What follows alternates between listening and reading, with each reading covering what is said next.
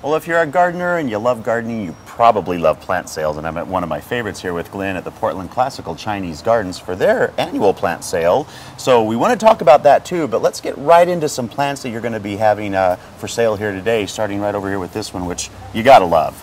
well, this is one of our more beloved plants, and it's in its uh, full form right now. This is the Daphne odora Aureomarginata, a wonderfully fragrant plant and um, late winter, early spring bloomer for us.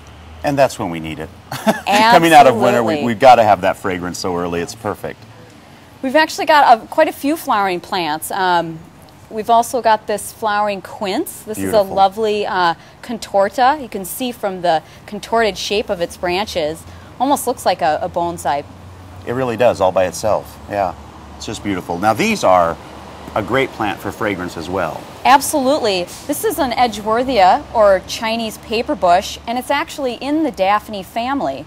When these little um, buds open up, they've got a star-shaped bright yellow flower that's just as fragrant as this one. Yep, they're just beautiful. Now, you know, the gardens here has so many great selections of bamboo growing. You're also offering some bamboo for sale. That's right. We've got some great bamboo from Bamboo Garden. Lots of um, hardy clumping varieties, which nice. is good for growing in a pot and at home.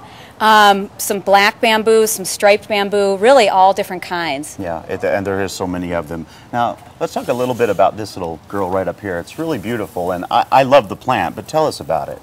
Well, you know, we have a wonderful collection of rhododendrons here in the Chinese garden, species rhododendrons, and this is one of the more unusual ones. This is rhododendron macrosepalum linearifolium. Mm -hmm. That's why you said it. or spider azalea for short. And it has these wonderful spider-like flowers.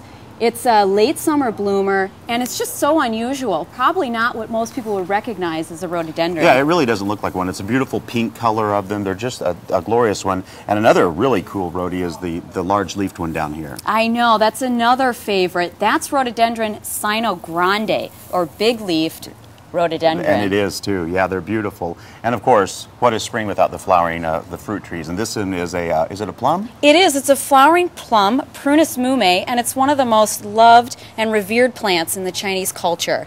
So we've got a couple selections of those, and those are blooming right now. Now, for this plant sale, you've, you've got some things going on. Of course, we have the, the poster back here that's got information on it. You've got some speakers, but there's also a free time, isn't there, this weekend? That's right. Tomorrow from 8 to noon, will be free.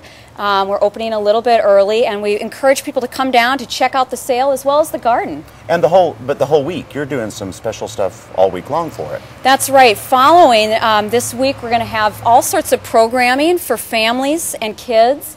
We'll be offering some storytelling, some bookmark making, as well as a couple great lectures from the Oriental College of Medicine. Well, you know, I think we've all been waiting for spring and waiting for spring, and this is certainly a way to celebrate it, get some great plants, get some great information all through the week. Glenn, it is always such a joy to be here, and we look forward to seeing you down here this weekend at the Portland Classical Chinese Gardens.